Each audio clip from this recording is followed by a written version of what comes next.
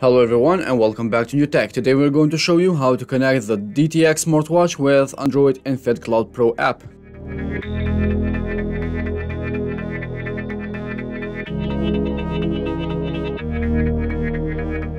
Let's begin here immediately by opening the app. As you can see we already installed it. We have here three pages down below, home, device and mine. At the second page device, we should unbind the last device that we connected with this app and press add new device, press search and you can see immediately we have smartwatch in the first position. The DTX Bluetooth name is smartwatch. So as you can see, it already is connected. If you go ahead and press, for example, find band, as you can see, it vibrates immediately and it let us know that it's connected. Also, we can see that in the taskbar at the connection sign. So this is all that it takes to connect the DTX with Android. So let's go back at the first page where we can find the statistic for steps, today, week or month statistic. We have steps, kilometer and other information as burn calories and distance, etc. Same with sleep, as you can see we have average sleep, deep sleep, light sleep. We have heart rate, highest, average and lowest, also the last heart rate that we measured. And same with blood pressure. We have the last blood pressure highest averaged and lowest and blood oxygen as well. As you can see the same theme and the same options as well.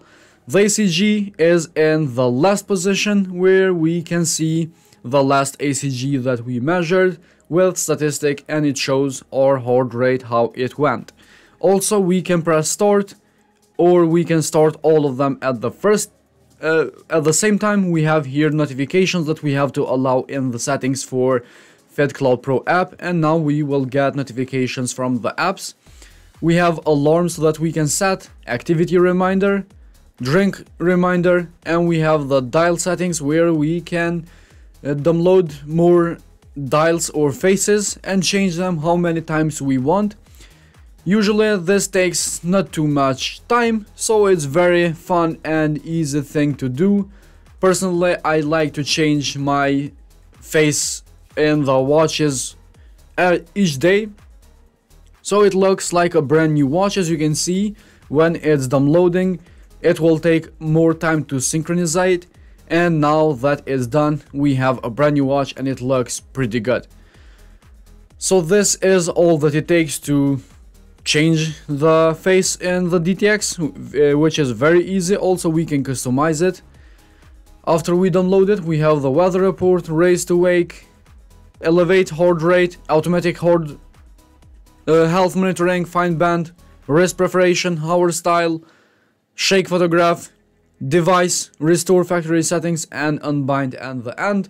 And mine, at the third page, we have the profile, Google Fit, exercise goal unit, we run settings, suggestion, and we have question at the FAQ. So this is all that we have in the FitCloud Pro with DTX. If you find this video interesting and helpful, please hit the like button, subscribe to our channel, and we'll see you in the next video with another smart device.